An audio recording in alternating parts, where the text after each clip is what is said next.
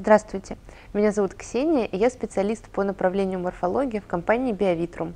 Добро пожаловать на наш канал, на котором мы обсуждаем гистологический процесс. И сегодня мы продолжим наш разговор о специальных окрасках в гистологии.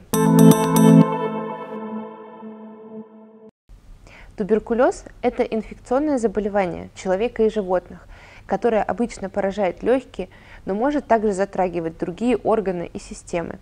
Туберкулез передается воздушно-капельным путем и может протекать в открытой и закрытой форме. Лечение является очень длительным и требует комплексного подхода.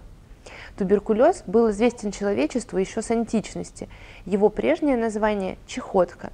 Однако он распространен по всему миру и в наши дни. Около одной трети населения планеты являются носителями туберкулеза. Также это вторая по распространенности причина смерти от инфекционных заболеваний.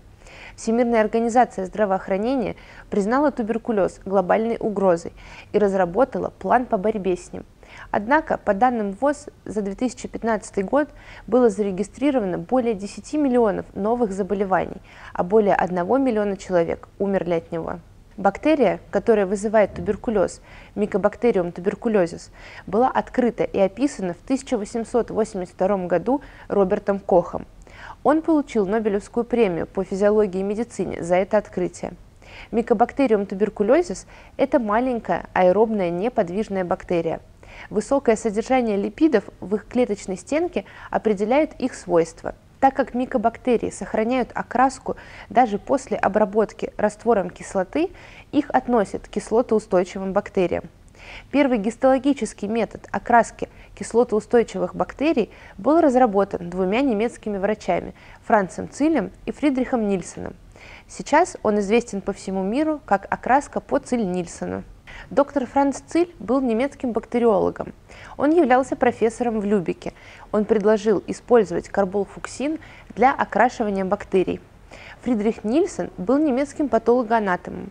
Он изучал медицину в университете Лейпцига и защитил докторскую в 22 года. Однако он умер, когда ему было всего 44, предположительно из-за длительной работы с патогенными микроорганизмами в ходе своих исследований. Совместно Циль и Нильсон разработали метод окраски кислотоустойчивых бактерий, который до сих пор применяется в диагностике туберкулеза и при определении других бактерий. Для окраски по Циль-Нильсону после депарафинизации и регидратации срезы окрашивают карболфуксином.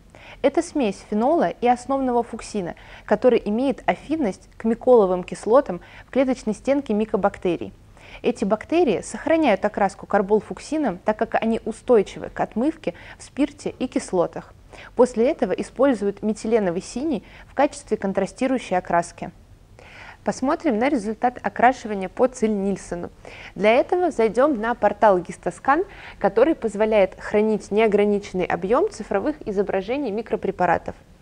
При окрашивании по Циль-Нильсону Микобактерии окрашиваются в красный цвет и хорошо видны на светло-голубом фоне остального препарата. В одном из наших следующих роликов мы покажем вам на практике, как окрасить препараты данным методом.